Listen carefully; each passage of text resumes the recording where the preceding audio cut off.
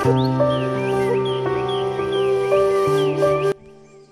guys good morning welcome back to my new blog आज चाहिँ म नयाँ ब्लग लिएर आइसकेको छु र आज चाहिँ दसैँको अष्टमीको दिन र आज चाहिँ बल हुन्छ र त्यसैले हामी चाहिँ आज कालिका मन्दिरमा चाहिँ गइरहेको छौँ जो कोटमौलामा छ। अनि हामी चाहिँ सबै परिवार नै गइरहेको छौँ त्यहाँ।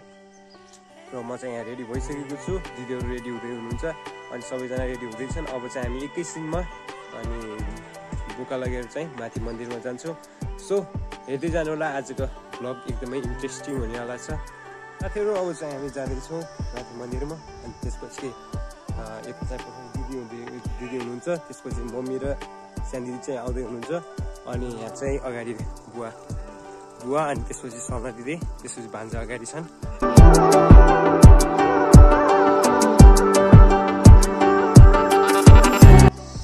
हिँड्न चाहिँ एकदमै गाह्रो भइरहेछ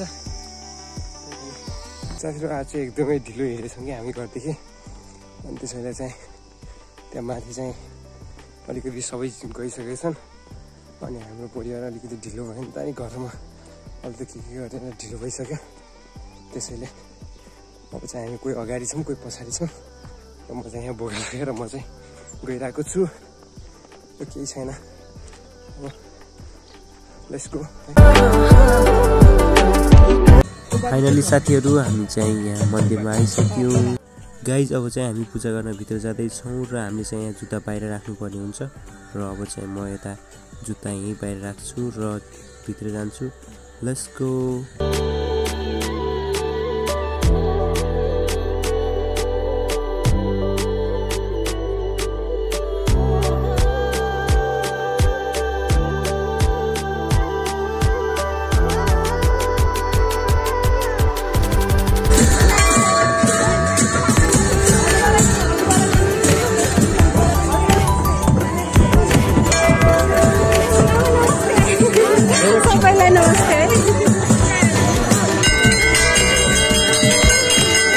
साथीहरू हामीहरू चाहिँ अहिले मन्दिरभित्र आइसक्यौँ र अब चाहिँ हामी पूजा गर्छौँ।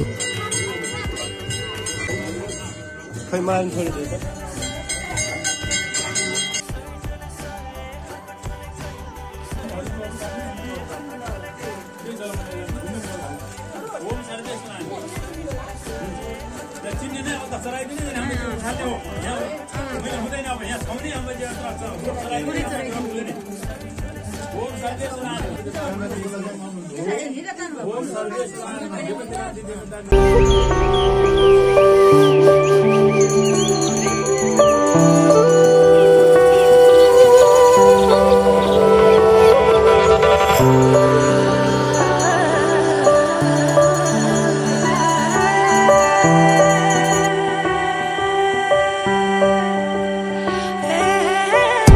फाइनली साथीहरू हामीले चाहिँ पूजापाठ गरेर सकिसक्यौँ। अब चाहिँ हाम्रो बोका काट्ने यानि कि बल बलिदान दिन्छ हाम्रो यो बोकाले। र अब चाहिँ पालो यो बोकालाई काट्ने पालो आइसकेको छ।